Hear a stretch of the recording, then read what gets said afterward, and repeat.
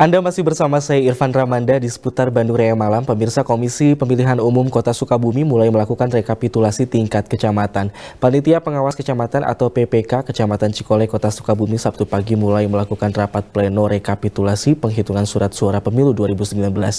PPK menargetkan selama 8 hari proses rekapitulasi penghitungan suara surat suara uh, selesai dilaksanakan terhitung sejak hari ini.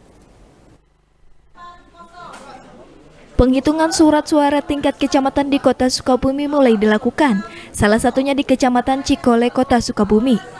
Sebanyak 1085 kotak suara yang terdiri dari 216 TPS, ditambah satu TPS khusus berbasis daftar pemilih tambahan di Rumah Sakit R. Samsudin, kota Sukabumi, dihitung secara manual.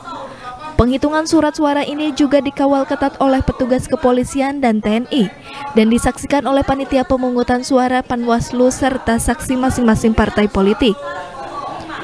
Ketua PPK Kecamatan Cikole Asep Saipudin mengatakan, hari ini pihaknya sudah melakukan rapat pleno dari tiga kelurahan, yakni Kelurahan Gunung Parang, Cikole, dan Sumbang Jaya.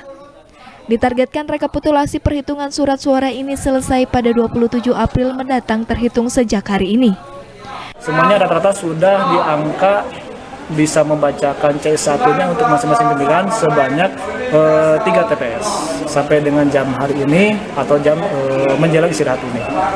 Itu barangkali yang mungkin bisa saya Sementara itu, Wali Kota Sukabumi Ahmad Fahmi menghimbau kepada masyarakat untuk bersabar menunggu hasil perhitungan resmi dari KPU, sehingga proses penghitungan bisa berjalan aman dan lancar.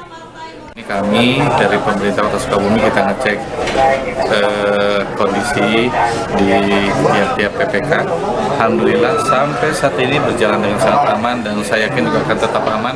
Tahap selanjutnya surat suara yang sudah direkap di tingkat kecamatan akan langsung dibawa ke KPU Kota Sukabumi untuk dilakukan rapat pleno rekapitulasi serentak di tingkat kota. Budi Setiawan, Bandung TV.